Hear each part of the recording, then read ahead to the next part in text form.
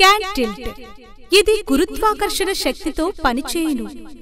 కావలసిన వస్తువులు aluminium coke డబ్బా కత్తెర మరియు బరువైన స్టీల్ బాల్ బేరింగ్ చేయు విధానము. అల్యూమినియం కోక్ డబ్బాను సగమునకు కత్తిరించి రంధ్రము లేని సగము భాగమును తీసుకొనవలెను.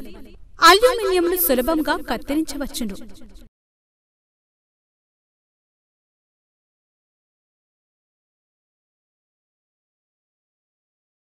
ఇప్పుడు క్రింది భాగాన్ని ఏటవాలుగా నిలువు పెట్టవలను కాని అది నిలబడదు.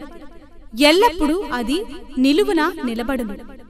ఇప్పుడు ఒక బరువైన స్టీల్ బాల్ బేరింగును అందులో ఉంచి ఏటవాలుగా నిలబెట్టినచు అది ఏటవాలుగా నిలబడును. మనము దానిని కదిలించినను అది తిరిగి యథాస్థానానికే వచ్చును. బరువైన బాల్ బేరింగ్ డబ్బా అంచు వద్ద ఉండి ఏటవాలుగా నిలబెట్టును.